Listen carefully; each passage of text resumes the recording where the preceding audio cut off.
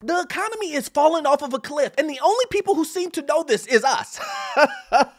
only people who are saying, Something ain't right. there are like 200 red flags and oh. nobody seems to understand it but us. People watching this video, people subscribe to this channel, people who have previously watched my videos, and it just seems mind boggling to me that you have a ton, a ton of pundits telling you guys Everything's okay. Don't worry. but we're gonna jump into it, guys. My name is Orlando. Welcome to the channel. Make sure you hit that like and subscribe button. It really does help out the channel. And look in the description and in the pinned comment, I have a newsletter that will give you tremendous value. I promise. All you have to do is join. It's free. You cannot beat free. Why Americans dislike the economy? Why are vibes so bad as legions of commentators noting the disconnect between polling of the economy and top level economic indicators? Unemployment rate is within spitting distance of 60 year lows, and the measure of inflation has dropped from a punishing high 9% rate to a lower, though still too high, 3.2%. Now, this seems like a, a slam dunk answer. it's because a lot of these guys are not living in the real world. That's right, they're living in the metaverse. The metaverse may be virtual, but the impact will be real. They are living in the metaverse, guys. Let me tell you this. When these guys come out and tell you, oh, everything's great. Oh, don't worry about it. Do you guys see the numbers? First of all, the numbers are lagging. The data is lagging. We know that. And I know this. When I go to the grocery store and I'm paying more and more and more, no matter if the price goes up or the company does the magical shrinkflation where they basically knock down the size of the items that you have always bought year after year after year, and for some odd reason, the box is getting smaller and smaller. You know that, or filling the bag with a bunch of air and there's only two chips in the bag.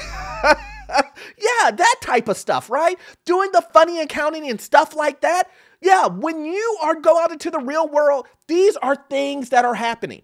When you go out and you try to buy a home and it's super unaffordable, when your wages have not moved, yet everything is skyrocketing up, it's gonna be a lot different than the numbers are showing on the paper. And that's what individuals are saying to me when they email me, when they DM me, when they say, Orlando, it's getting tough out here. and I say, yeah, I know. We saw this coming. The writing was on the wall. The major, major amount of money that was thrown into the economy. Did you think there was no consequence for that?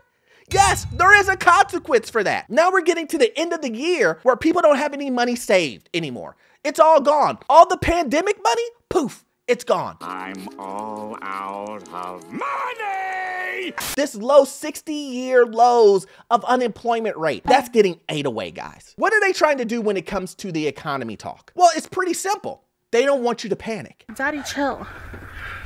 What the hell is even that? They don't want you to put you in a predicament to where you start looking ahead. You start making choices saying, I have a plan A, B, C, D, E. They just want you to have no plan.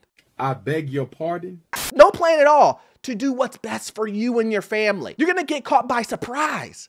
Surprise when your company that you thought was so loyal to you, that was that you thought, Oh, I got 20 years in. I got seniority. Do you know how much blood, sweat, and tears I've given this company? and you think at the end of the day they won't let go of you.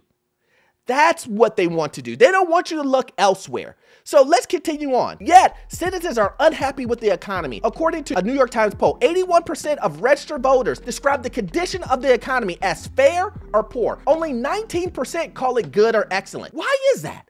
Why is that? Because these people are actually living in real life. Another poll conducted by the Financial Times and the University of Michigan found that a majority of voters said that they are worse off under President Biden than they were before. And then only 14% said that they were better off. Some commentators argue that the real wages are rising, but these claims are based on popular average hourly earnings measured by the Bureau of Labor Statistics, current employment statistics. Average hourly earnings is a less useful indicator now because of large workforce composition changes. During the pandemic, the economy shed large numbers of low paying service jobs, for instance, in leisure hospitality, which pushed the average wage of the economy higher. Guys, let me tell you this. and I just talked about this. I am getting emails from individuals who actually work, right? We're not talking about someone sitting in the ivory tower. We're not someone saying someone who's a quadruple millionaire. or trillionaire, billionaire, none of that stuff, right? We're not talking about any of those individuals. We're talking about hardworking people who are saying that it's getting tougher out here to make ends meet. Why is it getting tougher? Well, jobs are now requiring you to work more for the same. Wait, what? They tell you that, oh, we're gonna give you wage increase, we're gonna give you more money, but they're now asking, Hey, um, we're paying you salary, and we, at first, we're okay with you working 40 hours a week. But we're gonna need you to kick it up to 50, 55 hours a week. what? Uh, But, but let, let me explain the reason why. Um, because we did a big layoff and we got rid of almost everybody, and you're the person left. So if you want to keep your job, then you're gonna have to work more. So, is that really you making more money when you have to work more for that money? Because the companies now that you thought were loyal to you got rid of everybody and now you have to do all of their work. I'm tired of all the pain I feel. So that's the reason why you're starting to see these accounting tricks that you see from the labor department saying, oh, yeah, yeah, wages did go up.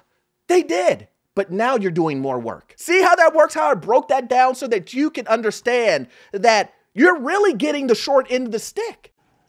Man, I'm tired of being right. And this is the reason why a lot of people are saying, Well, Orlando, it, it just doesn't feel right. Something's going on with the economy. I just can't put my finger on it. But it feels a lot tougher than it did previously. It says, moreover, many Americans, the most salient life milestones are now out of reach. Spending caused a dramatic rise in treasury yield, sending mortgage rates near 8%. Near? uh, they're at 8%.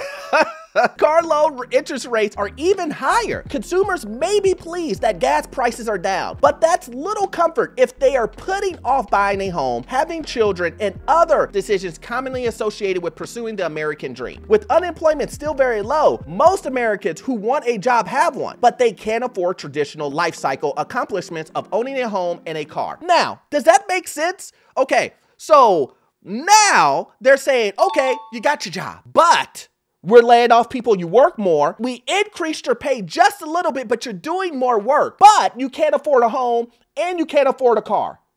Does that make sense? It's trash. But I'm not gonna let you guys off the hook because you did have a chance to save the money. And a lot of you did it. Even though I said you should, if you want to buy your home, your car, or just in general, have a savings account. You need to have an emergency savings account. I'd say that over and over and over again, and I will not stop saying it. It is super important for you to have this.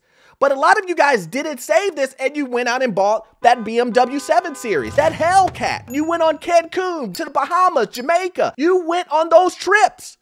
And now it puts you back in the worst case scenario. Because let me tell you what, previously, before the pandemic, you may have been in an okay situation. Now that you have had a lifestyle creep, now a lot of people believe that they deserve a certain lifestyle because of the money that was given to them by the government. Now you are spending credit card debt to live up to that lifestyle. You, sir, are an idiot.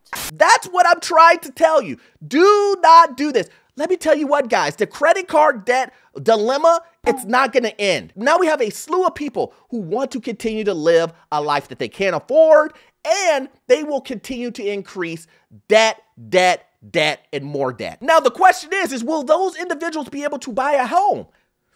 I don't know. Everybody's situation is different, guys, but it's gonna get worse before it gets better. And this is the reason why videos like this are so important so that at least you will know. I don't want you to tell me. I don't want I don't want to hear anybody say Orlando didn't tell us or I didn't hear it or I I didn't know. I don't want you to say I didn't tell you or forewarn you.